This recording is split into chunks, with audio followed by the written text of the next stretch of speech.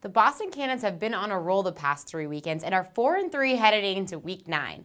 I'm Jenny Fucillo, and here to talk about the Boston team is MLL analyst and former Cannon JJ Morrissey.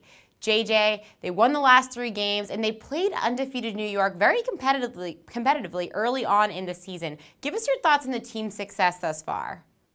Well, I think that uh, the Cannons have been up and down. I think they played New York really well, obviously, in those back to back games, not coming away with wins, but uh, playing that team, that undefeated team so well uh, is a confidence booster for them for sure. Uh, I like their atmosphere, the, the, way the team is coming together, um, and I really like their attack unit with Emila and uh, and uh, Will Manny back there. So I think they have a lot of pieces and some of the rookies that will come in the next couple weeks to be really competitive heading into the second half of the year. Now, with Jordan Burke injured, Adam Ghitelman has stepped up for the Cannons in net. Are you confident in his game for the team? I really am. I think that obviously losing Burke is, is tough for the Cannons. He's such a great backstop and, and uh, field general back there. But Adam Ghitelman this past weekend had an, an unbelievable game against the Florida Launch, st standing tall against Lyle Thompson and Casey Powell.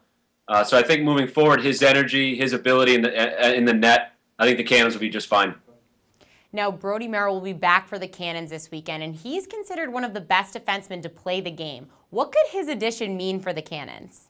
I think that uh, Brodie Merrill is one of the best long stick middies that have ever played lacrosse. He's an unbelievably skilled player. Uh, Ratliff has had a great season. I don't know how they're going to fold Brodie back in and keep Ratliff involved because he's been doing so well. Um, but obviously, it, it can only help to have a guy with Brodie Meller, uh, Merrill's talents coming back. So it should be a boost for the Cannons for sure. Like I mentioned, the Cannons are 4 and 3 headed into week 9. What do you think the Cannons need to do to keep the momentum going and make the playoffs? Well, I think first things that they have to do is make sure that they play a good team offense. When they get together as a team on the offensive end and they're sharing the ball and they're staying within their system, they're extremely dangerous. They have a tendency to play a little bit too independently sometimes, and that can slow their offense down.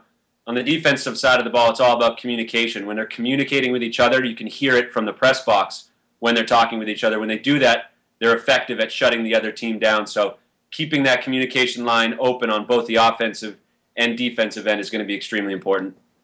Thanks, JJ. That's MLL analyst JJ Morrissey. The Boston Cannons head to Rochester on Sunday to face the Rattlers at 1 p.m. Tune in to ESPN3 to see the action.